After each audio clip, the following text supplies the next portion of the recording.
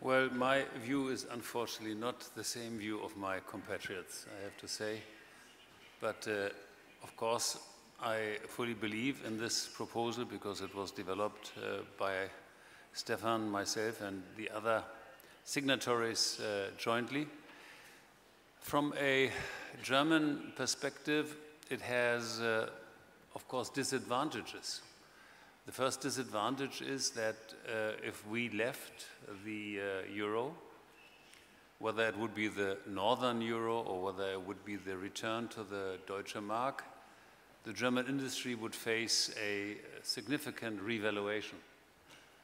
And uh, that's exactly, in my view, what the German industry needs.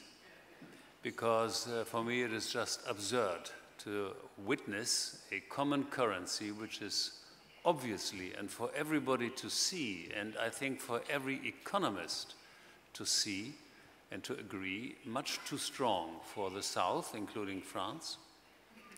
And we have discussed the results all morning, what it does, a much too strong euro for the South and France. But we should also uh, discuss the fact that it is much too weak for Germany.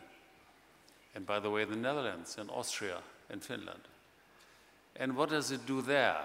Well, it makes German exports rather easy.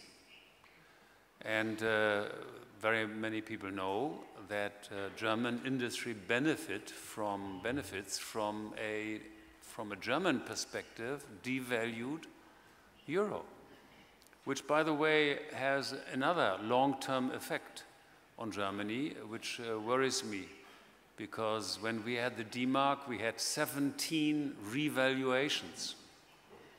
And whenever we had a revaluation, it was a very important requirement for the German industry to react by more productivity, by more creativity, by more efficiency.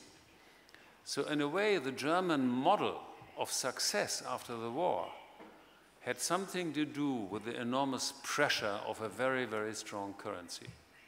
And I remember very well in the 90s, we had one of those, from our perspective, terrible competitive devaluations of the Italian industry. And suddenly, many German companies decided to move their plants to Italy and to buy goods from Italy. So, the ability of the Italian industry to react to their relative uncompetitiveness by devaluations was a very strong problem for Germany. So today we benefit from a devalued uh, euro and find it rather easy to export. I think this is wrong. It is also wrong for German industry because we now find out that in order to save the euro, and Herr Bolkestein has I think, very well explained it. In order to save the euro, we have got to make sure that the differences between, let's say, Greece here and Germany there are somewhat uh, harmonized.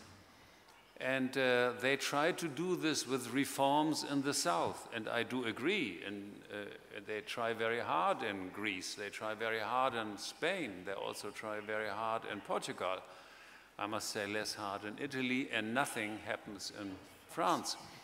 But nevertheless, there is a requirement or a desire to move the productivity from the south up to the German standards.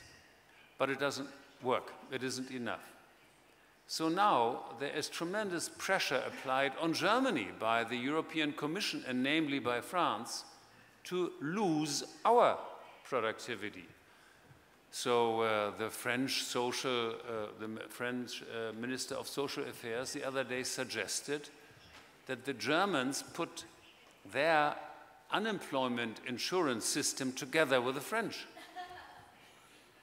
You laugh. Uh, I don't laugh. I, I, I consider this a very serious threat. By the way, it is not only the crazy idea of a French minister the Commissioner Andor, he is the commissioner in Brussels responsible for this, has picked it up and has now made a proposal for a European socialization of, of social security systems.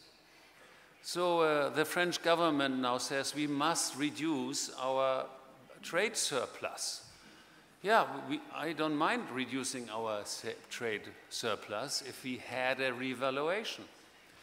But uh, he doesn't allow us a revaluation. So the idea of saving the euro now is to harmonize the countries within the eurozone. Now, harmonization is just the opposite of what? Of competition. And uh, when we read the, the agreement of uh, Lisbon, we all learned that one key to success in Europe is the competition between countries in Europe, the competition between the best ideas and whatever. Uh, nobody talks about competition anymore. Now it is harmonization. Uh, we, used in, we used to talk about subsidiarity in, in Europe every European politician until May 2010 had the idea of subsidiarity always in his speech. You don't hear this anymore. Now you hear centralization. And uh, Herr Bolkestein and others have already mentioned the fact that uh, we have now the banking union, we have the ESM, and by the way, we have this very strange policy of the European Central Bank, which is basically nothing else but a socialization of debts.